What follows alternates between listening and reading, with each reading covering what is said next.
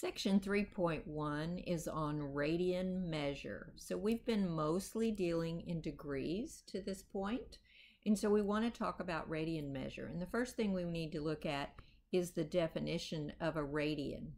So if we go right here, an angle with its vertex at the center of a circle that intercepts an arc. So here's the circle, here's the vertex. This arc here, this R, that's equal in length to the radius of the circle has a measure of one radian. So the radius of this circle is this much here. Whoops. And then the arc in length is the same as that radius. If that's the case, then the theta here has a measure of one radian. That's by definition. So if you look at 30 degrees, that's a 30 degree angle.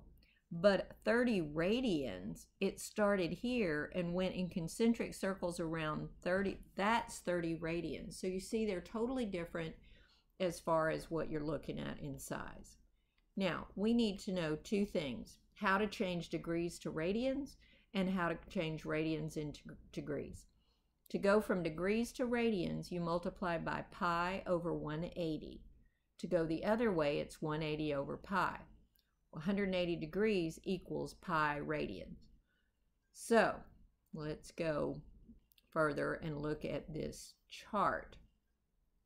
This is our basic uh, angles that we have been using and our quadrantal angles that are at the um, intersecting line. So here's our zero, here's 90, 180, 270, and there's a 360. And then in this first quadrant, we have 45, 30, and 60. So those are the main ones in this chart. Now, the degrees are in this column. And exact, when they ask for exact, they do not want degrees. Exact has radians, has pi in the answer. So if we multiply 30 degrees, remember up here, changing degrees to radians, if we multiply 30 times pi over 180, 30 goes into 180 six times. So that becomes pi over 6. That's what's actually happening there. So let's go back to the chart. Pi over 6, and you can just figure 30 goes into 180 six times, 45 goes into 180 four times, 60 goes in three times. 90 goes in two times, 180 goes in one time. 270 is one and a half times 180, and 360 is two times 180. So that's that's where that comes from. All right. Means we're going to begin to look at what's called the unit circle. The unit circle is our circle whose radius is equal to 1. All right. And so when you break it apart, you have 30, 45, 60, 90. So you also have over here the same idea. We're going to go further into that in another uh, another section, but just to get an idea, this is the unit circle and on this particular piece, we have everything in degrees in blue and radians in red. All right? Let's go down here. All right, so I think that's it for the lecture notes right now. Like I said, we're just getting started. So let's go look at our problem set.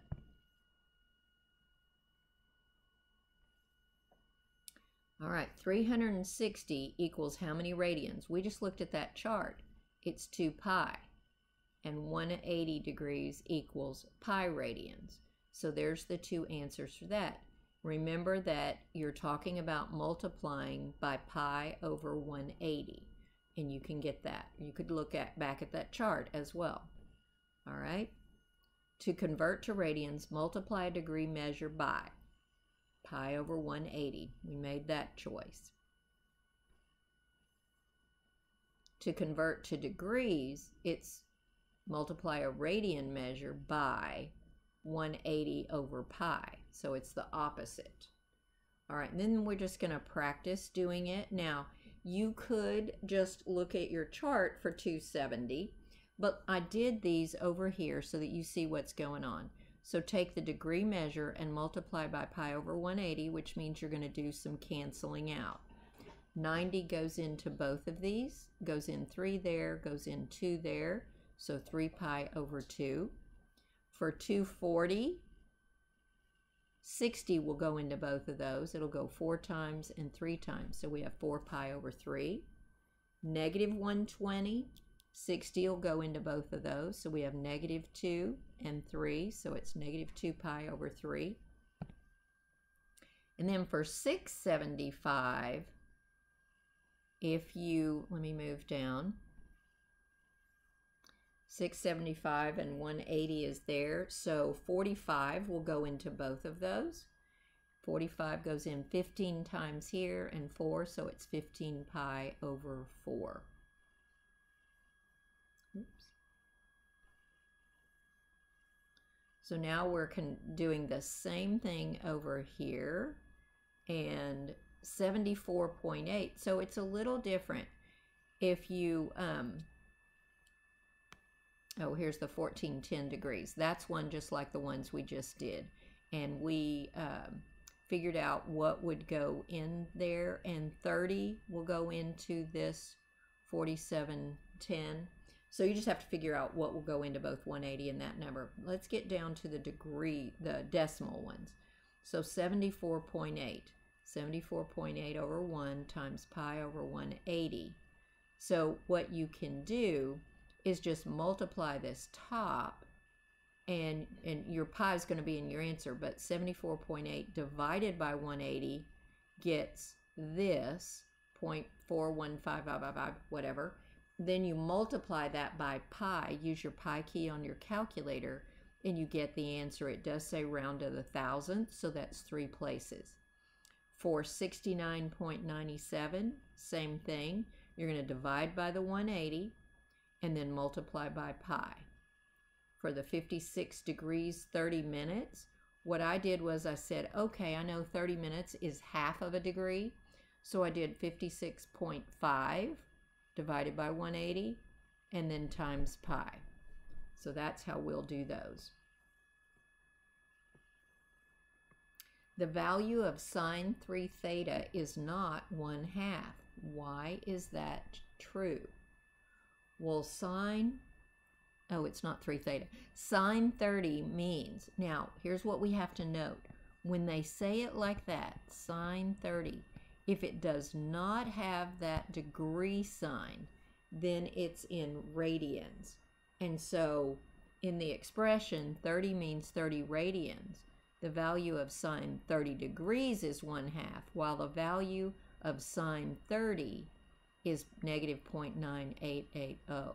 So if you do not see the degree symbol, you have to assume that it is in radians. Find the exact value of tan pi over 4. So one thing that you can do Pi over 4 is 45 degrees. So sometimes I will just draw the triangle. Remember 45, 45, and that's a 1, 1, and a square root of 2? Well, tan is 1 over 1 because it's opposite over adjacent. So your answer would be 1.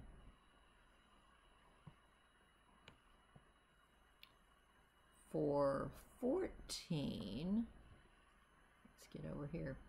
Through how many radians will the hour hand on a clock rotate in A, 13 hours, and B, 6 hours?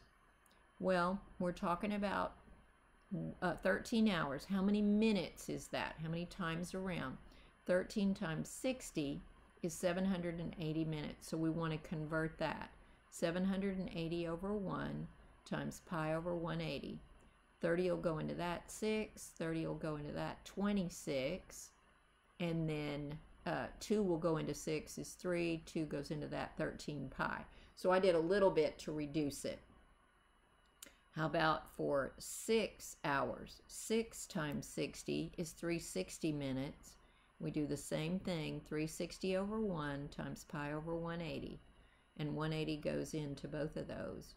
So once and twice. So it ends up being 2 pi. Okay. So that should be a fairly simple section. Hopefully um, that will do for that one.